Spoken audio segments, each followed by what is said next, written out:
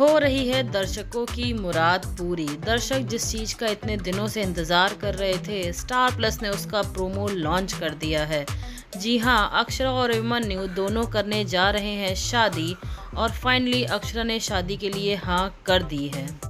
लेकिन शादी हो रही हो, कोई नौटंकी ना हो, ऐसा तो हो ही नहीं सकता। जब अक्षरा को मालूम है कि अभिमन्यु अभी भी उससे प्यार करता है तो अक्षरा ने एक नया नाटक शुरू किया है, वो है दोस्ती दोस्ती खेलेंगे। अब दोनों प्यार की नहीं, दोस्ती की कस्में खाने जा रहे हैं और वहीं अक्षरा अभिमन्यु को साफ़ साफ़ ये बता रही है कि वो अबीर के लिए ये शादी कर रही है। हो भी क्यों ना अगर आसानी से दर्शकों को सब मिल जाएगा तो शो में बचेगा ही क्या देखने के लिए।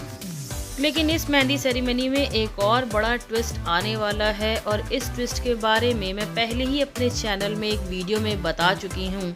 उस समय तो कई लोगों ने इस बात को मानने को इनकार कर दिया था, लेकिन फाइनली इस प्रोमो में आपको इस बात का सबूत मिल जाएगा।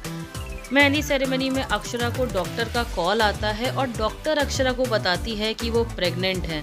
कौन है ये औरतें? कहाँ से आती हैं? एक औरत को डॉक्टर के बताने के पहले ही पता चल जाता है कि वो प्रेग्नेंट है। कई ऐसे सिम्टम्स हैं जो उसे इस बात का एहसास करा देते हैं।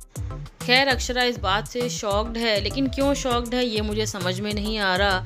यहाँ तो एक तरीके से रोल रिवर्सल चलने वाला है कि अभिमन्यु के बेटे को अभीर ने बाप बन के पाला था। अब अभीर का, जो हो ना हो, लड़की ही होगी कि बच्चे को अभिमन्यु बाप बन के पालेगा।